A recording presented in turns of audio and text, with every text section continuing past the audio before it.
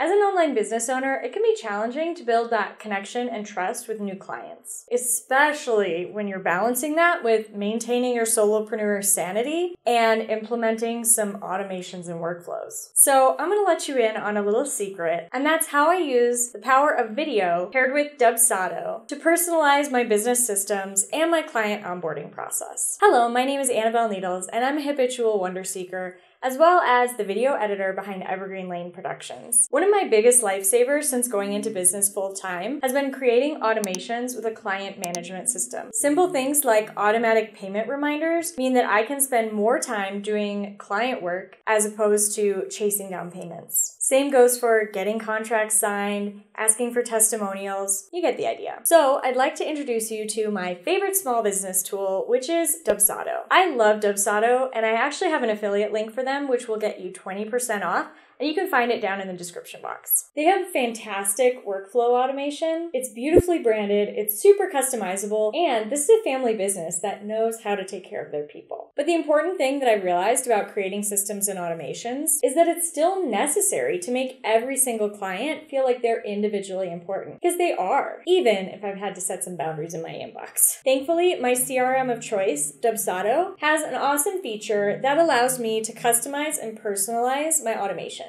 so that my clients have an amazing experience working with my business. And that tool is the code block within questionnaires. I'm going to share with you a screen tutorial on exactly how I embed videos into my Dubsado forms and questionnaires using the code block feature. But before we dive into the nuts and bolts, I wanted to give you a few ideas for how you can actually implement this in your business and incorporate video into your client management workflow. Idea number one is to create a video explaining your process, who you like to work with, what your projects look like, what the steps and stages stages of a project are. You can embed this on top of a proposal or in a work with me guide instead of or alongside of an FAQ. Idea number two is to film an instructional video for your client that they receive as a bonus after paying their invoice. Make sure this is something that adds value to your service. So since I do heirloom travel films, each client gets access to an exclusive video library of tutorials for how to take great video on their vacation or honeymoon. And it gets sent automatically to them as soon as they pay their invoice. Idea number three, if you're a designer or someone whose process includes rounds of revisions,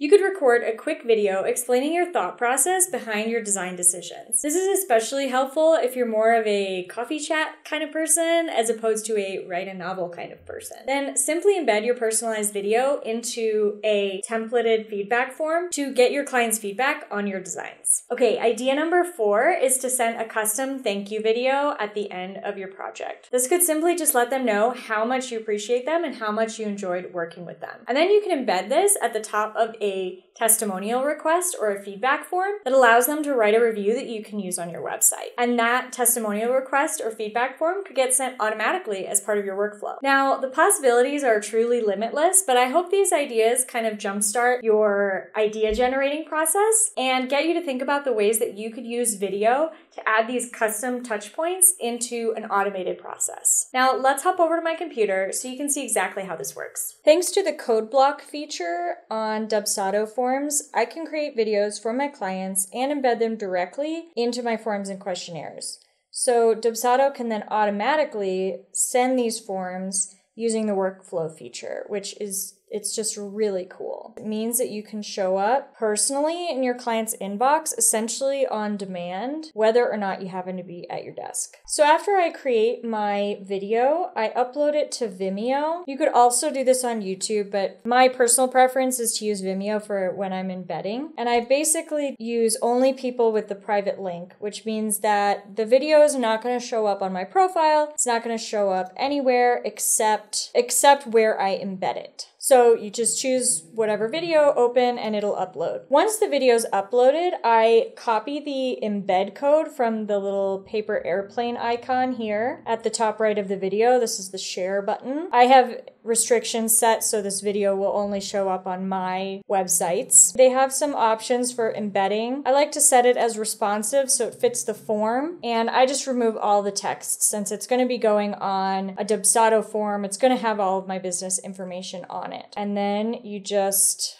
copy this text. Once you go over to Dubsado, you can open up your form. So say I want to add a video to this testimonial request form. And I'll just grab this code block right here and I'll drag it onto my form, open it up, and paste my video embed code. And as you can see, now the video shows up here and you can play it. This is a video that I created for my honeymoon and travel films. They actually get a free printable included with their package that turns into like a little zine that you can print and take with you on your trip. And it has all of the tips and tricks for taking good travel video in your pocket. So that video is actually part of my Juniper video resource library. So this is something that my travel video clients get access to. Here's another video I did as an example to welcome my travel video editing clients. It's generic, but it's also personal because you can see my face. I'm saying welcome. I'm saying here's what to expect over the course of our project. I think that just adds this extra element of people being able to see my face, even though this template goes out in a quote unquote automated email. Now, since I'm all about keeping things simple, there's no need to use custom video in every single step of your client process. However, I really believe that a few select upgrades are going to make a big difference in how connected your your client feels to you, especially if you're only working together online. The most important thing is to test what works best for your business and your ideal clients. The more you can make your automations feel like they were created just for them, the more meaningful and fruitful your connections with your clients are going to be. Remember, if you're interested in trying Dubsado, I have an affiliate link down in the description box